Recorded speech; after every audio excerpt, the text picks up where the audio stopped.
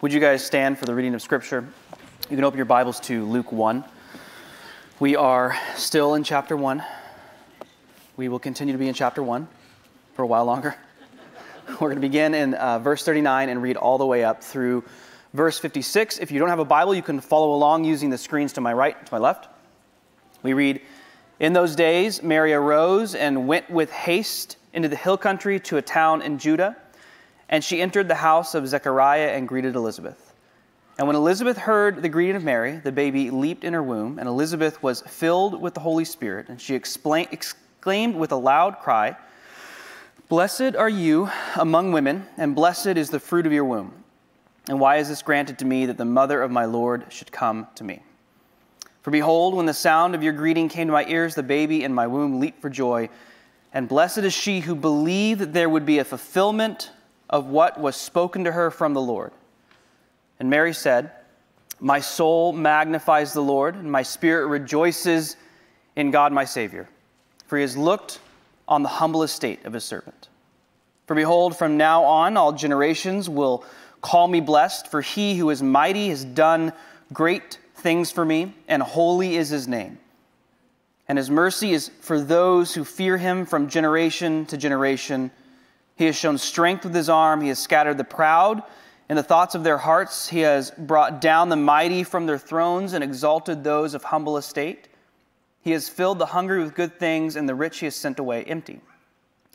He has helped his servant Israel in remembrance of his mercy, as he spoke to our fathers, to Abraham, and to his offspring forever. And Mary remained with her about three months and returned to her home. Go ahead and take a seat. You pray for us. Father, I pray as we continue to study your word, as we continue to read and work through the gospel according to Luke, that you would continue to give us a, a greater certainty about the things that we've been taught, but also a greater confidence in the finished work of Jesus at the cross. Pray that you bless our time together this morning. Pray that you prepare our hearts for the effect of your word. Pray that we are convicted and encouraged in appropriate measure we thank you for our time together this morning. We pray all these things in the name of your great Son. Amen. Amen. Good morning. Good morning. Have you guys ever received good news that seemed like it was too good and so you were suspicious about it? Yes. Like someone tells you something. okay. You ever heard of MoviePass? I signed up for MoviePass before I could be sure it was not a complete scam. Like I got one email, gave them my credit card information. They were telling me for like 10 bucks a month I can see unlimited movies. And I was like, I'm gonna run this company into the ground. and so like it didn't seem real to me, it seemed like a scam. I gave them my credit card, and the way it worked seemed kind of scammy. They're like, You give us your credit information, we'll send you a debit card. And you're like, Okay. They're like, There's no money in this debit account. You're like, Okay then what you're to do is you're going to sign up for a movie on the app, and we're going to transfer money to your account, and then you're to go to the little ticket machine and buy the ticket with the card. And I thought, that sounds really convoluted, but I'm going to try. And I didn't believe it was true until my ticket got printed out, and I thought, I cannot believe this. I'm going to see so many movies. My family's going to go to sleep, and I'm going to see every movie that I can. There's a sense in which I like don't believe it's true, and I think many of us have gotten good news in our life, and we're like kind of waiting for the other shoe to drop here, what's happening is Mary's been told by an angel that she's going to have a baby as a virgin. It's a wild claim. And I think, in one sense, she probably believes that that's true. An angel told her. On the other hand, she's probably continuing to wait for further confirmation that what God told her was going to happen is actually going to come to pass. I think that's what we're seeing in this passage. She responds to, I believe, fully believing and comprehending what God was doing with her in a wonderful song of rejoicing. Luke is always balancing and managing two main things. The one is this he wants to be a careful and organized conveyor of the historical facts of Jesus' life, death, and resurrection. He begins that way. He says, I've gone to all the sources, I've been to the cities, I've talked to the people, I've uh, spent time with the eyewitnesses. I walked the places that Jesus walked. Any disciple I could talk to, I did. I spoke with people who met Jesus, who saw him perform miracles. I talked to people who believe that Jesus was raised from the dead. And I also talked with people who saw the risen Lord.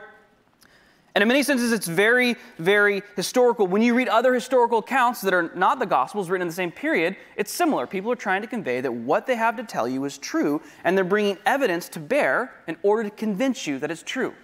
People were not more gullible back then than we are today. They didn't just believe any fantastical thing that they heard, they didn't believe any supernatural story. Evidence must be brought to bear.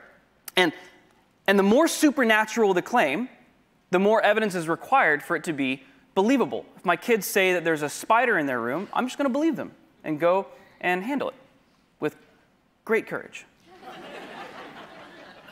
if they tell me there's a ghost in their room, I'm not going to believe that. It's going to take a lot more convincing. The claims that Luke is making that Jesus Christ was born of a virgin, that he performed many miracles, that he walked on water, that he fed 5,000, that he healed people, he cast out demons, he was publicly executed, and then he was raised from the dead and seen by many witnesses, requires a great deal of hard work and evidence. Supernatural claim, a great deal of evidence. He's always balancing those two things. He begins with the story of Zechariah and Elizabeth. An angel appears to Zechariah. We can, we can read this in 118. Zechariah said to the angel after he's told that, that he's going to have a son, How shall I know this? For I'm an old man and my wife is advanced in years. The angel answered him, I am Gabriel. I stand in the presence of God, and I was sent to speak to you and to bring you this good news. Then the narrative shifts away from Zechariah and Elizabeth, and it zeroes in on a young woman named Mary. She's told to behold, you will conceive in your womb and bear a son, and you shall call his name Jesus. He will be great and will be called the Son of the Most High. And the Lord God will give to him the throne of his father David, and he will reign over the house of Jacob forever, and of his kingdom there will be no end. And then they come together in the scene that we have today. Mary and Elizabeth meet. Elizabeth, pregnant with John the Baptist, who would prepare the way of Jesus, who would famously later say, He must decrease so that, or I must decrease so that He must increase. And Mary, pregnant with Jesus, whom Elizabeth calls my Lord. Look at this in 39 through 45. In those days, Mary arose, went with haste to the hill country to a town in Judah, and she entered the house of Zechariah and greeted Elizabeth. And when Elizabeth heard the greeting of Mary, the baby leaped in her womb. And Elizabeth was filled with the Holy Spirit, and she exclaimed with a loud cry, Blessed are you among women, and blessed is the fruit of your womb. And why is this granted to me that the mother of, look, my Lord should come to me? The word that she uses for Lord there is the word kurios. It's a word that's applied to God in the Old Testament, in the Greek versions of the Old Testament. It's a word that has already been applied to God 22 times in the narrative of Luke, already uh, just a chapter in. And this is the first time it's applied to Jesus, and nearly all commentators in this passage are saying this. What Elizabeth is doing here is acknowledging the identity of Jesus as, in fact, God Himself. That Jesus is not just going to be a prophet or a miracle worker, He is God returned to His people to rescue them, and that's a good reason to rejoice. So we learn a lot about what rejoicing is and what we should rejoice in when we look at Mary's song. And, and the first thing I want us to see is that she is rejoicing in God's word.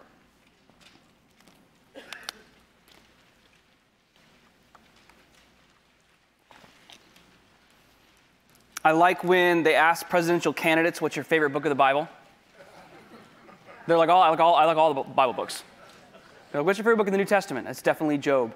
You're like, "Uh, it's amazing how often they give a weird answer. You're going to get asked that question. You're running for president of America, you're going to get asked something about the Bible. Know a few things so you can give a good answer. And I think it's just actually like kind of a symptom of the fact that our culture in general does not have a very strong biblical literacy.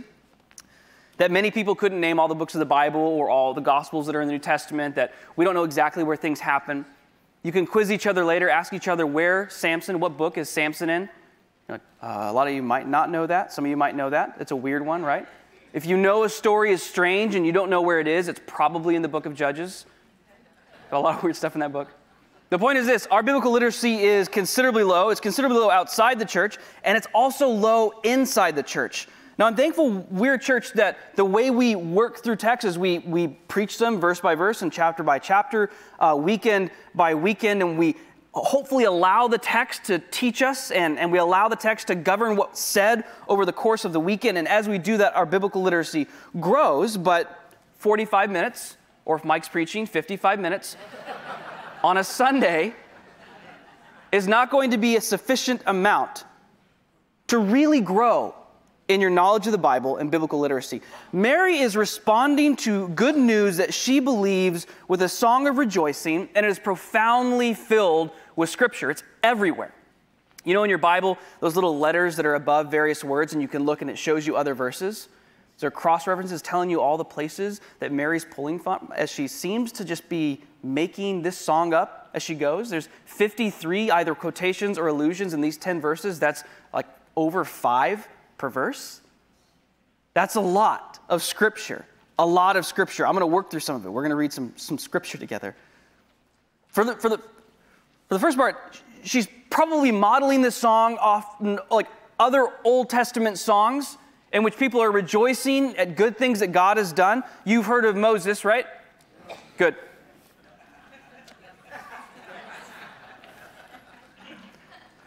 We know that God uses Moses to deliver the Israelites out from under the oppression of the Egyptians. He stretches his right hand out, he sends plagues, he parts a sea for them. They pass through the sea.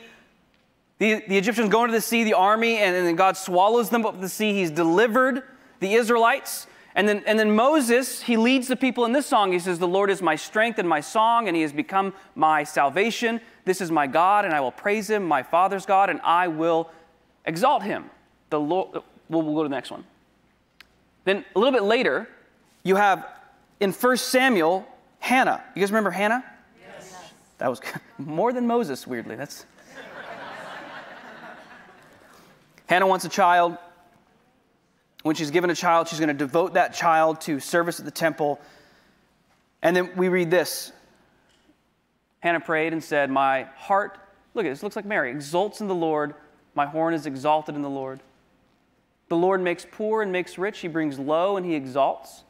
He raises up the poor from the dust. He lifts the needy from the ash heap to make them sit with princes and inherit a seat of honor. Does that sound somewhat like Mary's prayer? So she's pulling from those things. She's also drawing from the major prophets, Isaiah. But you, Israel, my servant Jacob, whom I have chosen, the offspring of Abraham, my friend. We read here, for thus says the one who is high and lifted up who inhabits eternity, whose name is what? Holy. holy. I dwell in the high and holy place, and also with him who is of a contrite and lowly spirit, to revive the spirit of the lowly and to revive the heart of the contrite. She doesn't just pull from the major prophets, she also pulls from other narratives, like in Daniel. Nebuchadnezzar's sanity is restored after seven years. Here's what Nebuchadnezzar says now I, Nebuchadnezzar, praise and extol and honor the King of heaven, for all his works are right and his ways are just, and those who walk in pride he is able to humble. She pulls also from the minor prophets, the 12 books at the, the end of your Old Testament. There'll be a quiz later. I'm going to name all 12. First time I've ever cited Habakkuk from the pulpit. Yet I will rejoice in the Lord. I will take joy in the God of my salvation. From Zephaniah. The Lord your God is in your midst, a mighty one who will save. He will rejoice over you with gladness. He will quiet you by his love. He will exult over you with loud singing. What set of books do you think she pulls from the most to write this song? Psalms, the one that kind of sounds like song. Psalms. Let me show you a few. My soul makes its boast in the Lord. Let the humble hear and be glad. Oh, magnify the Lord with me and let us exalt his name together. 138. For though the Lord is high, he regards the lowly, but the haughty he knows from afar. 99. Let them praise your great and awesome name. Holy is he. Psalm 111. He has sent redemption to his people. He has commanded his covenant forever. Holy and awesome is his name. For he satisfies the longing soul, and the hungry soul he fills with good things. Does that sound like Mary's prayer? This is a really incomplete list. I could have read many, many more passages. I think part of what we're seeing here is that Mary clearly treasured God's word. And this is a way in which Mary is a wonderful example to us. She certainly had the Word of God read to her. She's not only hearing it or reading it one time a week, she's treasured it in her heart. She's so devoted to the Word of God that she cannot help but display the Word of God when she prays. She would have read it regularly. One of the things we can do is we can look at what we call like verbal cultures today, cultures that don't make much use of writing, and that would have been the case in the first century. And we can see that people back then were able to memorize much longer portions of scripture or whatever more easily because they didn't have any way of recording things. Not easily. Back then, far fewer people could read or write than is the case today. You would remember scripture a lot easier if you did not have an iPhone to be like, hey Siri, Exodus, you know, 15, verse 1. They, they, they knew a lot, and, they could remember a lot. And clearly, if they had devoted themselves to the Word of God, when they would pray, the Word of God would appear in their prayers. And you can see Mary is pulling from every various portion of the Old Testament somewhat naturally.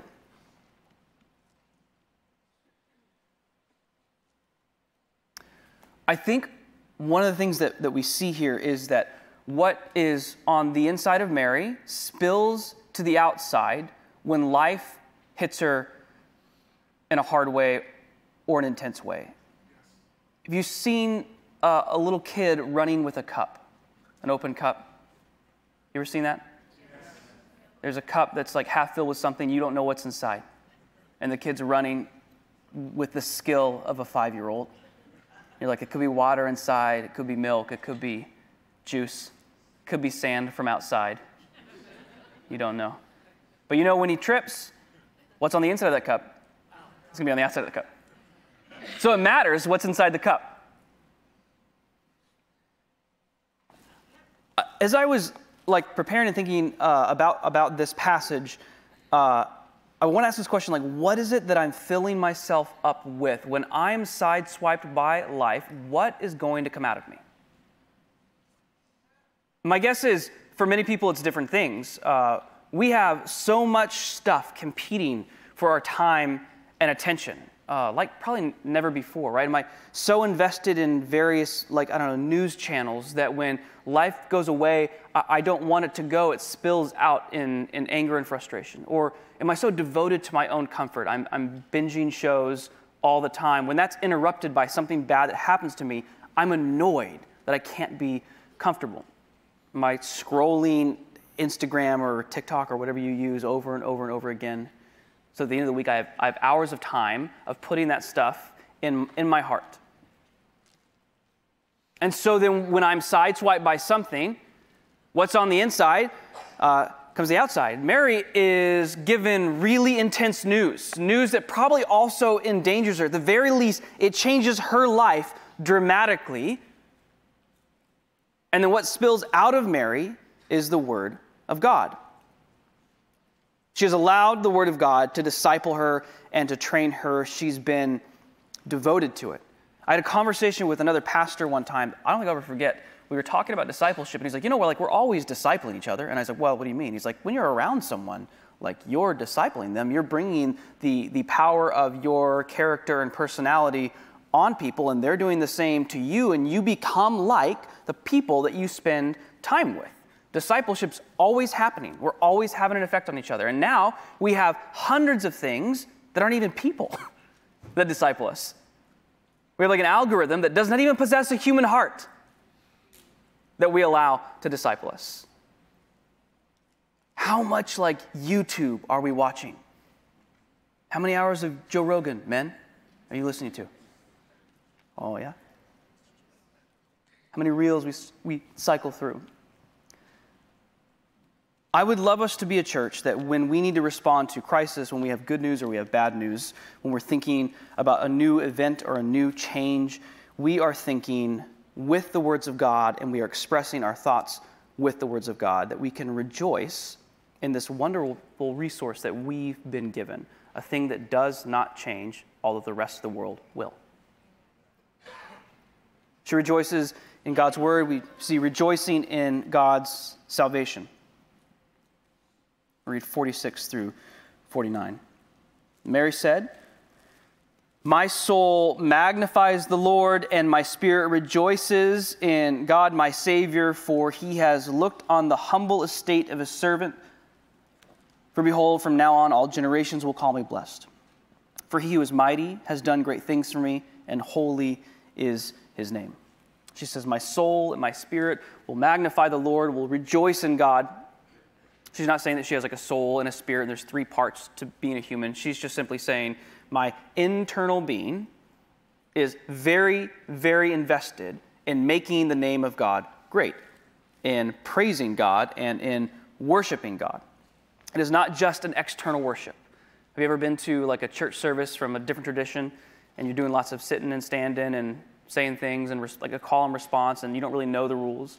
I went to a church one time and I took communion there and when I got up she said some sort of like or whoever was said some sort of like phrase to me that apparently they do at communion.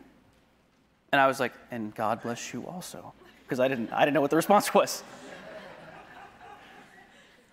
Like we do have these external forms of worship. We, we, in some sense, like they'll get developed anywhere. We have traditions that we we grow in, and I don't think various forms of external worship are good or bad. I think they're different in different traditions. I do think what matters is that worship is meaningful when we mean that worship.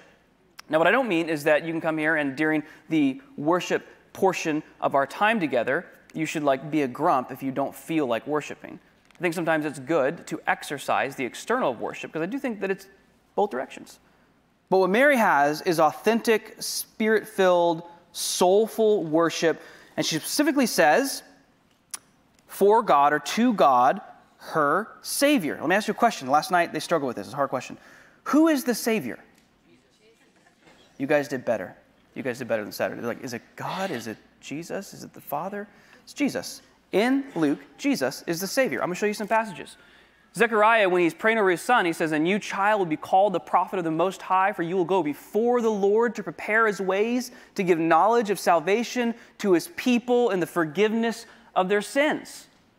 Because of the tender mercy of our God, whereby the sunrise shall visit us from on high, to give light to those who sit in darkness and in the shadow of death, to guide our feet into the way of peace.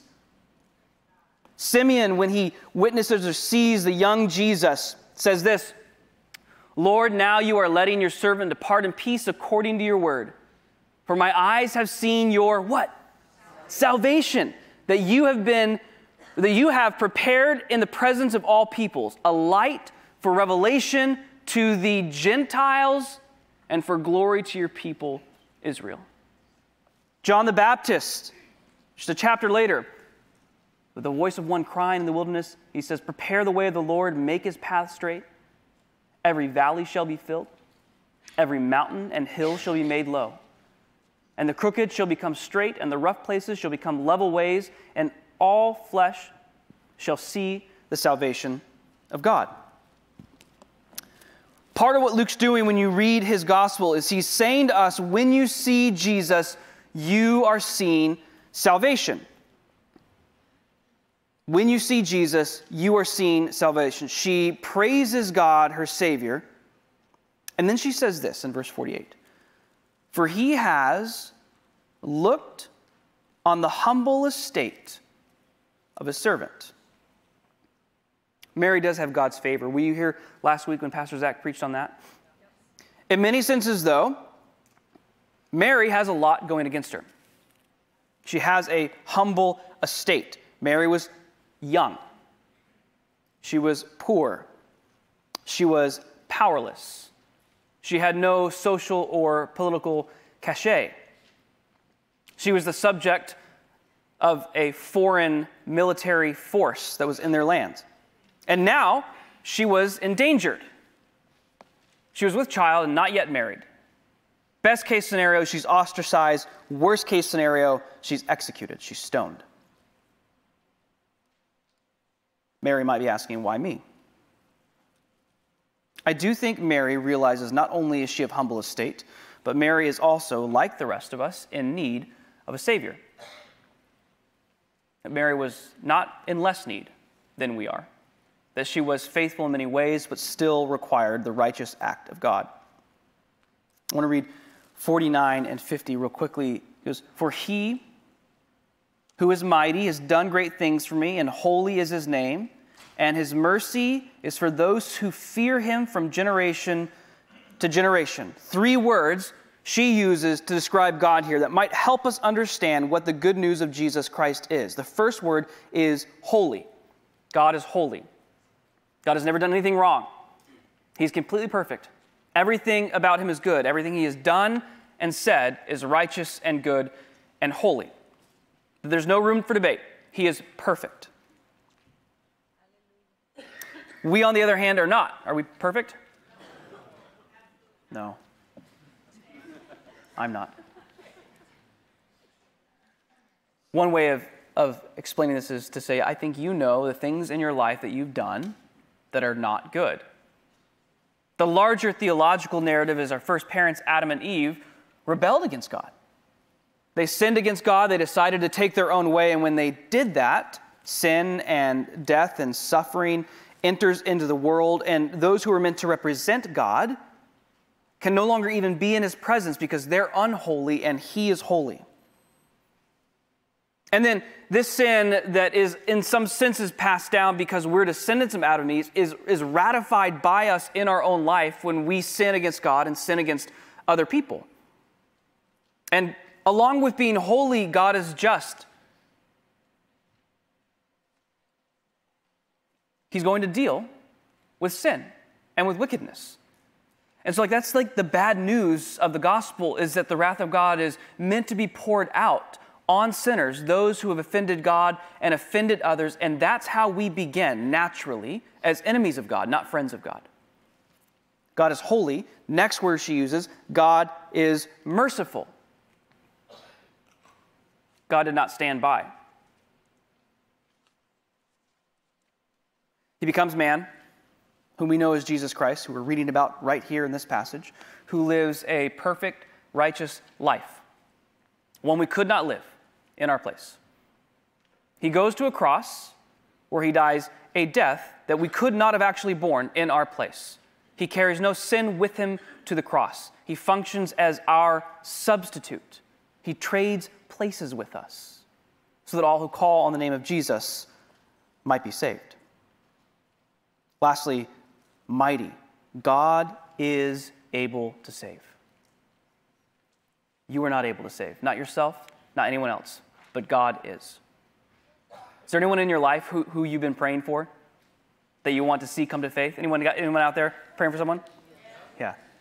Don't stop praying. God is mighty. We read this in Acts a little bit after Jesus' life. He ascends and the disciples are left and, and the Spirit descends on, on them. It's Pentecost and there's uh, Jews from all over the place because they've returned for a festival. So Peter has a good moment to give a sermon where all these different people are here. He says, And it shall come to pass that everyone who calls upon the name of the Lord shall be saved. And towards the end of his sermon, we read this. Now, when they heard this, they were cut to the heart and said to Peter and the rest of the apostles, Brothers, what shall we do? And Peter said to them, Repent and be baptized, every one of you, in the name of Jesus Christ for the forgiveness of your sins, and you will receive the gift of the Holy Spirit. For the promise is for you and for your children and for all who are far off, everyone whom the Lord our God calls to himself. This is a beautiful passage for most of us who are in this room because most of us today are Gentiles.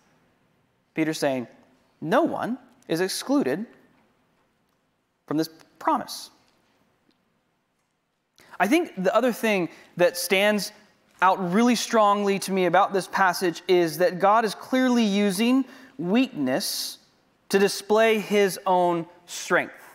Do you know that God will display his strength in our weakness? Do you know that's true? It's all over the Bible. Moses, you remember Moses? We talked about him a little while ago. Okay. Moses out in the desert, he sees the burning bush, he approaches, and the Lord says to him, I'm going to send you back and you're going to deliver the people. And Moses is like, ah, oh, I don't, I got a day job. I, I watch sheep. I don't want to do that. God's like, well, we can do great things. I'll send your brother with you. And he's like, well, what if I go to my people? My people don't believe me that you sent me. And uh, God says, What's that in your hand to Moses? And what's in his hand? Yeah, but like the word is actually like stick. Like Moses, like, it's a stick? And God's like, Fine, I'll use that. And he uses a stick and brings about plagues and, and, and parts the sea. Like, it displays God's power and weakness. How about David? You heard of David, right? Yes. David uh, was a lowly shepherd, the youngest son, kind of the runt. Becomes king of Israel, the good king of Israel. How about Paul? Paul was a bad guy. He persecuted Christians, he went after them, he was complicit in the murder and martyrdom of many Christians. He was also sent out to be a witness, a, mission, uh, on mission to the Gentiles, those who are not Jewish. Paul, who was very Jewish, who loves Judaism, who aches for his people, but he's sent out. Over and over again, we are seeing that God does not find the most powerful, He does not find the most established, He does not find the most clever people to bring about His purposes. He may use powerful or clever people, but often He uses weak people because when weak people are used, God's strength is highlighted. Like Mary is the one who is pregnant with the Messiah. Why wouldn't it have been Herod's wife or Caesar's wife or Caiaphas's wife? Why not Elizabeth and Zechariah? Why? I think it's important for us to see in stories like this that there is no room for human power in God's saving work.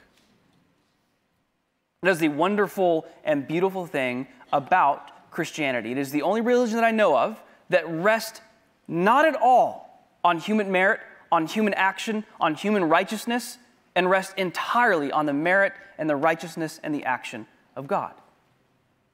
Mary rejoices in God's salvation. The gospel is God's doing. Thirdly, Mary is rejoicing in God's justice. Let's read 50 through 53. And his mercy is for those who fear him from generation to generation. He has shown strength with his arm. He has scattered the proud in the thoughts of their hearts. He has brought down the mighty from their thrones and exalted those of humble estate. He has filled the hungry with good things, and the rich he has sent away empty. Now, justice is a sensitive subject today, is that right? Like I just said justice, and some people are like kind of nervous, like, is he going to say something that's going to offend me? Probably.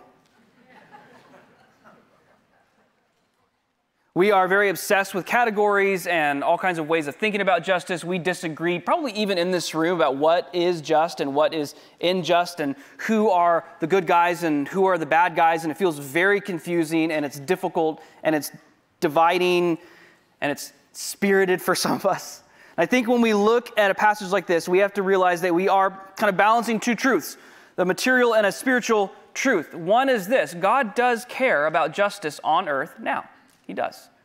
This is really common reversal language we see in the Bible over and over and over again. I'll show you one we already read in Psalm 138. For though the Lord is high, he regards the lowly, but the haughty he knows from afar. The writers of the New Testament and of the Old Testament would often think about material justice.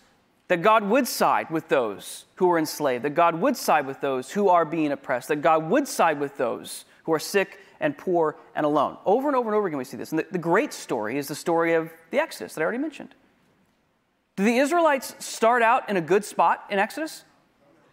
They've been enslaved for hundreds of years, and then God delivers them powerfully, brings them into this new place. He gives them a law which is partly designed to help prevent them from becoming like other nations that have awful systems that oppress people. Now, everyone's sufficiently stressed out? We good? Let me get some emails. I think if God loves something, we should love something. I don't think we're always going to agree on what's just and what's unjust. I don't think we're always going to agree on who the good guys are and the bad guys are. I think we can agree on this. In the end, God is going to get it right.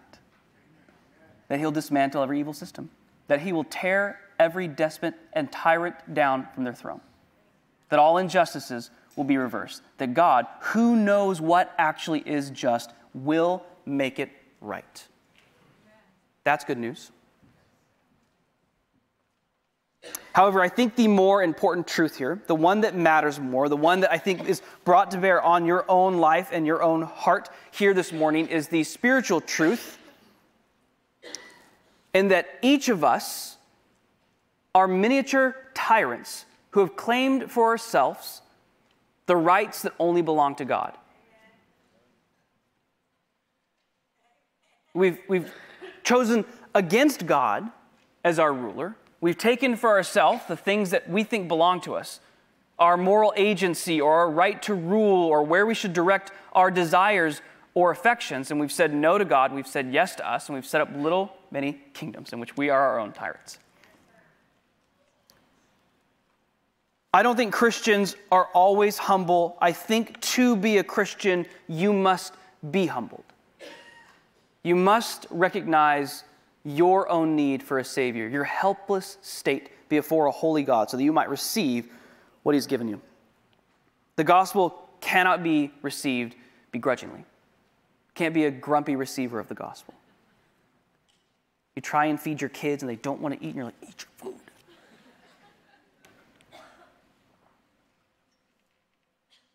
No one becomes a Christian against their will.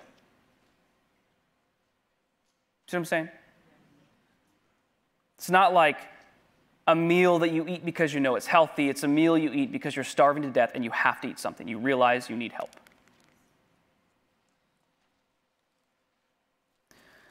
Mary's rejoicing in God's word, in God's salvation, in God's justice, and, and lastly, in, in God's commitment. We read, He has helped His servant Israel in remembrance of His mercy, as He spoke to our fathers, to Abraham, and to his offspring forever. And Mary remained with her about three months and returned to her home. Mary, because she knows God's word, because she's devoted to God's word, she remembers God's promises. Does God make promises? Yes. She remembers uh, this one from Genesis. Now the Lord said to Abram, Go from your country and your kindred and your father's house to the land that I will show you. And I will make of you a great nation, and I will bless you and make your name great, so that you will be a blessing. I will bless those who bless you, and him who dishonors you I will curse. And in you, look, all the families of the earth shall be blessed. We read from Paul later in the New Testament a little bit more about what it means for Jesus to be the fulfillment of this promise to Abraham. Know then that it is those of faith who are the sons of Abraham. And the scripture, foreseeing that God would justify the Gentiles by faith, preached the gospel beforehand to Abraham, saying, In you shall all the nations be blessed. So then, those who are of faith are blessed along with Abraham, the man of faith. Mary is pregnant with a child whom she knows will bring about great things. I'm not sure how much she could have known. This child would not just change her life, it would not just change her family's life, it would not just change her nation's life or her generation's life. Her child would be the turning point of history in which all human beings, every single one, could respond to Jesus as Lord. These are big promises. But there's an even bigger promise. You guys like waiting on things? You're like, no? Mary was waiting. We're waiting.